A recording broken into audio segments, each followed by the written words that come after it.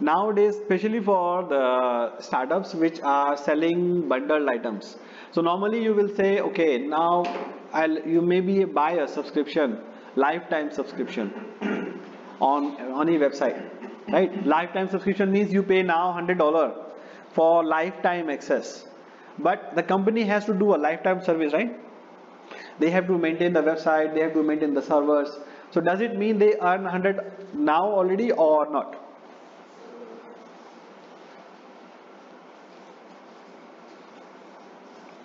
no right? They didn't earn 100 yet because they have to do the service in the future.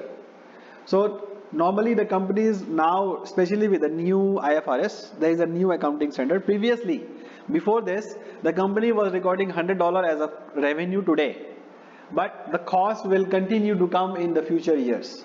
So revenue is here the expense is in the future years. So you're you're not matching the revenue and expense correct so the new accounting standard requires company to split the revenue into current revenue and future promises. So you have to estimate how much money you have to pay for future. If let's say all 100, mostly maybe only 50 is for this year. The rest of the 50 you need to pay for future. So you, you can recognize 50 as this year income. The balance of 50 will go in future to, to offset the expenses in the future you buy a car the company give you three year guarantee. Correct? But they don't charge you anything right? So the that this guarantee is bundled into the car price. Correct? So company may charge you hundred thousand dollars. But the and they are saying okay 90,000 is for car value another 10,000 is the guarantee. 3 years guarantee or 4 years guarantee which is free of cost for that company need to pay after three years up to three years right? They still need to have a staff they still need to have maybe somebody if let's say your car is actually damaged they still need to pay for it correct? So the com nowadays companies cannot recognize revenue upfront. That today we receive 100,000 so we receive 100,000 no. You have to split the revenue for future obligations whatever you have to spend in future. Okay? So normally the equipment can have like uh, let's say for example you are buying a equipment.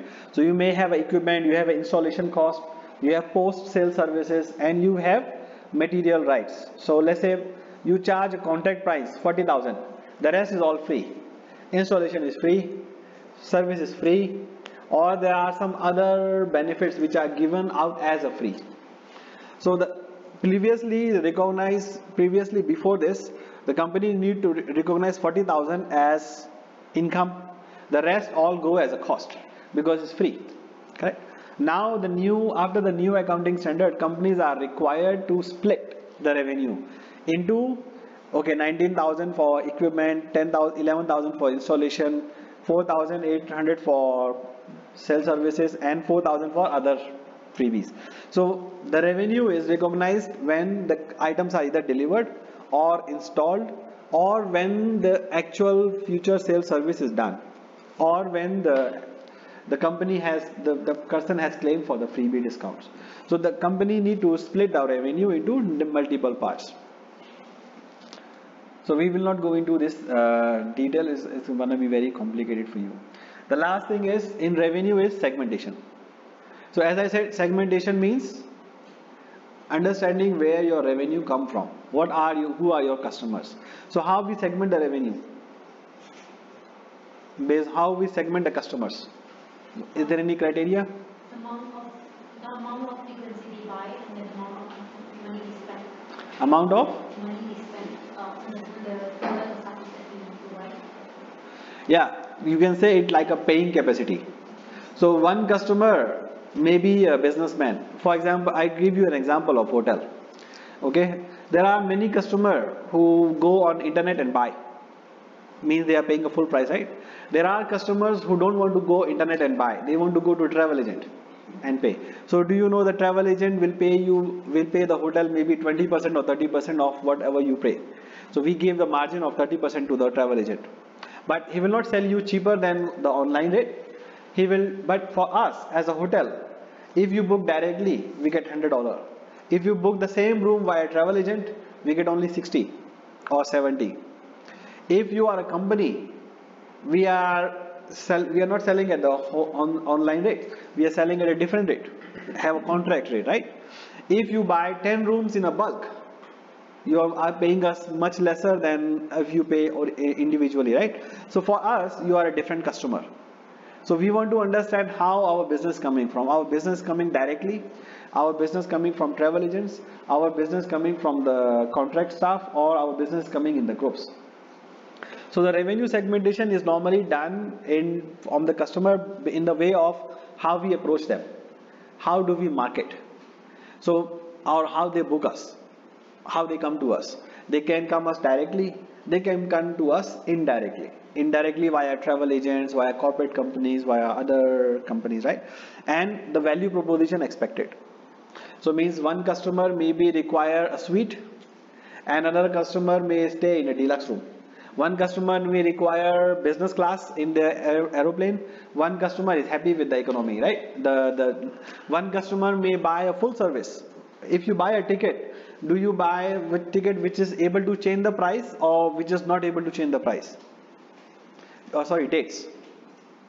If you buy a ticket online now and you search a ticket which is fixed dates, they will cost you very cheap because the dates are fixed. But if you want to buy a flexible ticket, you have to pay a higher amount, right? So there are two different, these are same person, same ticket, same plane, the different customers are two different because of their paying capacity. Somebody want to buy very cheap, somebody want to pay higher. So the company, the person who want to sell cheap, company cannot have a different rates, right? They can they can have only one rate in the public.